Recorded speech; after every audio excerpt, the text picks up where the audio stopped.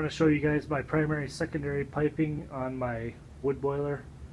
I bought a Portage Main Optimizer 250 and I'm heating my 4,500 square foot house, my in-floor heat in the basement, in-floor heat in a two-stall 24 by 24 garage, and my 105 gallon electric water heater. Um, basically what I had before was full electric heat. Uh, this electric boiler uh, heated up the water for the in-floor heat in both both uh, zones. Um, so I just utilized it as a backup and um, piped my boiler in.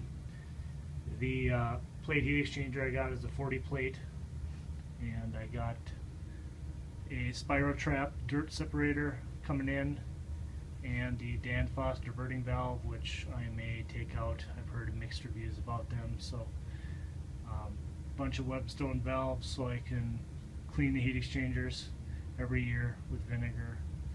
Uh, Spirotrap or Spirovent I mean for the air elimination. Um, I've got my first zone which goes to my forced air high velocity air handler and that is over here. I bought the coil specific for this unit, puts out 70,000 BTUs, uh, which heats my house just fine.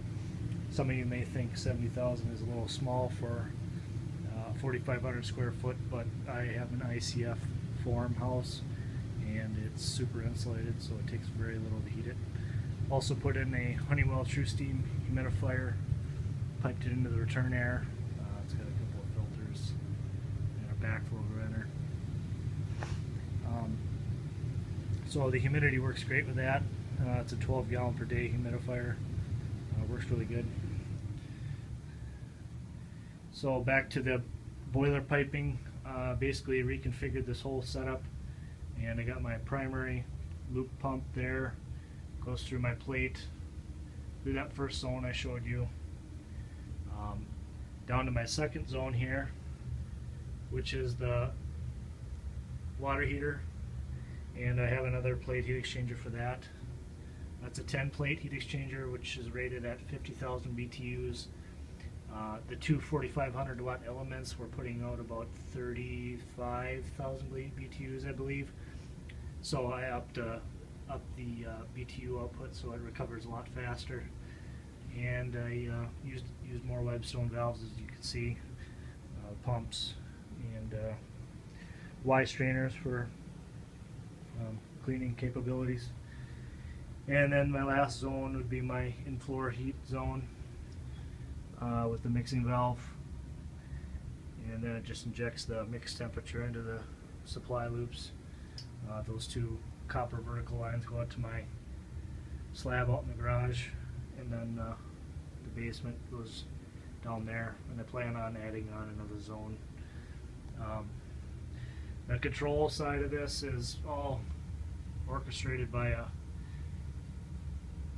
let's see it's a SR506 EXP um, a little bit too many zones for what I need but it's what they sent me and I wanted to get it going as soon as I could. And uh, this thing works awesome.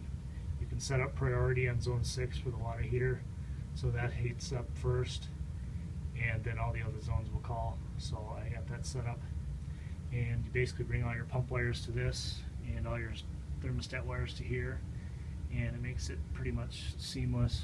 Uh, I got my digital aquastat for the water heater senses temperature on the water heater side. So when that drops to 130 it kicks on and you have a differential of about 5 so I run it pretty tight. And um, the mixing valve I got on here it's just a Watts valve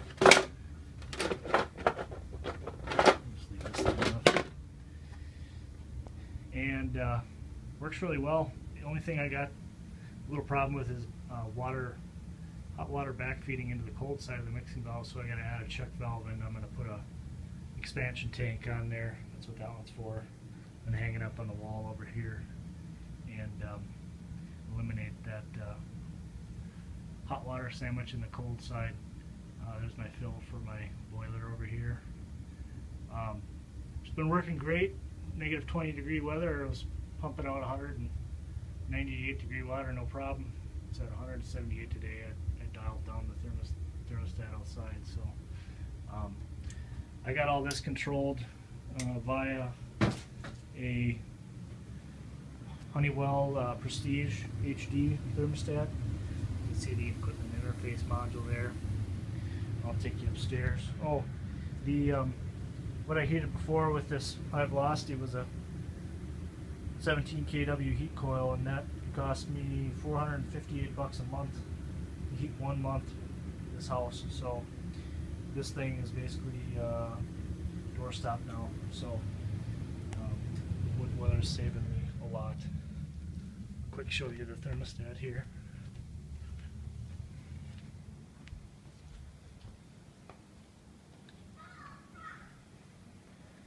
It's the color touchscreen thermostat. Uh, I got full, full control of humidity. You can adjust it for the comfort zone and the window limit so it doesn't sweat on the windows. Um, there's also ventilation control and all sorts of stuff. You can also access it via your cell phone with a remote app. So I can check on the temperature of the house anytime, anywhere, and also set it back if we're not around to save wood. I've ran through about six cord of wood this year, and it's been 20 below for at least a week or so, and then below zero for at least a month. So it's pretty good on wood. I'm very happy with uh, the install, and uh, if you have any questions, just give me a shout. Thanks.